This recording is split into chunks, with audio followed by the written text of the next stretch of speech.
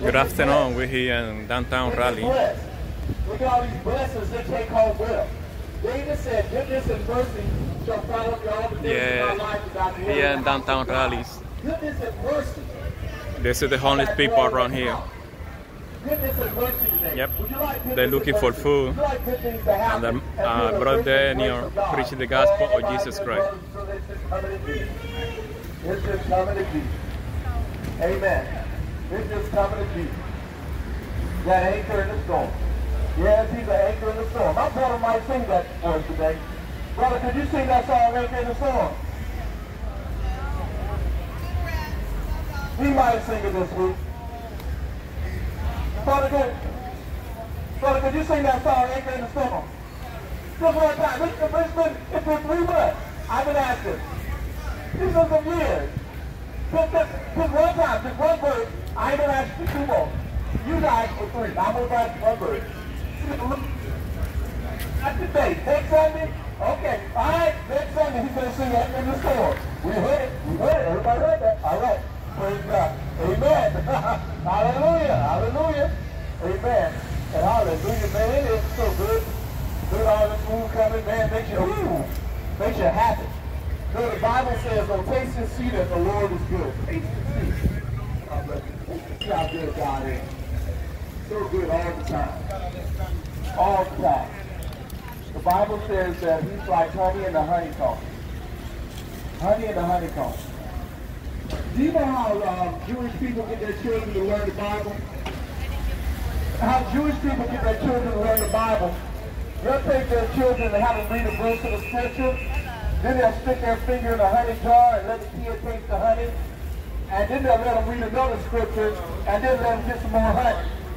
So every time they read the word, they say, I'm getting that sweet. It's like sweet like honey. That's what, amen. As you get, amen, as you get around God, as you get around God, dead things come to life. Maybe there's some dead things in the past that you forgot about, and it, but you said, man, I wish I could get that job. I wish I could get my art talent, my uh, writing talent. I wish this drama abilities I got, auto mechanic. I would like to see that auto mechanic shop I thought of when I was a young man. Well, the Bible says that dead things come to life. Jesus can resurrect dead things. The Bible says that the tomb of Lazarus, a man dead for four days. Lazarus was stone cold dead. Dead. I mean, they said don't open that tomb up. He's gonna be smelling. You won't smell some rotten guy. Don't open that. Don't open that tomb up, Jesus. Don't open it. But the Bible says Jesus, God with us, God in the flesh, God. He spoke to the tomb. He spoke to Lazarus. First, he told him, roll away the stone. Move the stone out the way. Get that stone out the way of my brothers and sisters that down here in the city of Raleigh. The stones are in their way, that's over their heart. Move away the stone. And after Jesus told to move away the stone, and the people knew that Lazarus, dead man, was in the grave, Jesus said, Lazarus, come out to a dead man. He said, Lazarus, come out. And the Bible says that dead man, uh, Jesus gave life and he came out the tomb. Lazarus came out the tomb, hopping out of there. He had grave clothes on him. He couldn't, he couldn't walk straight. He was kind of hopping out the tomb. You heard Jesus call. And when Jesus called Lazarus, Lazarus had to come out.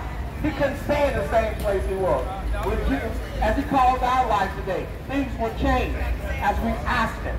The Bible says, ask and you will receive. Seek and you will find.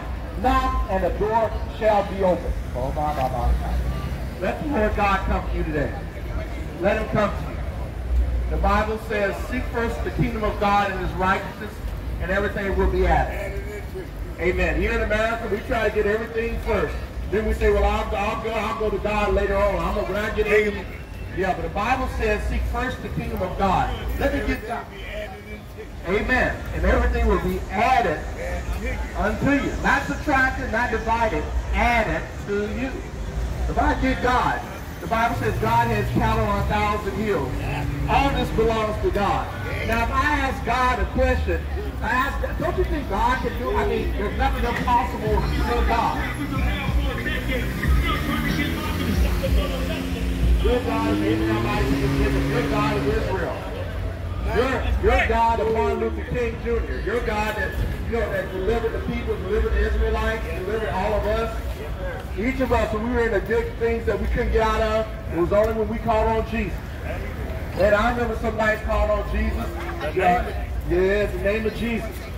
Getting ready to get into a fight in a storm with lightning all around me, doing stuff I shouldn't have been, saying, God, if you let me out of this one more time, let one more time, God, I'll, I'll, I'll. I'll.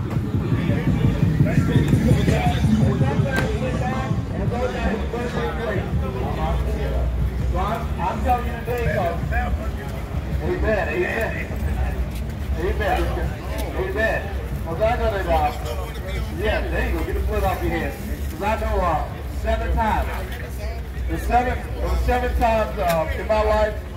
Amen. Probably more. I didn't bring that today. I wish I a brother. Okay. Amen. Thank you, brother.